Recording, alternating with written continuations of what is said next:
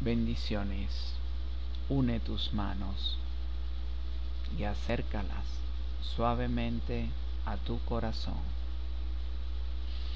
Sencillamente, en ese momento, siente la luz del universo como llega a tu corazón e ilumina tu vista.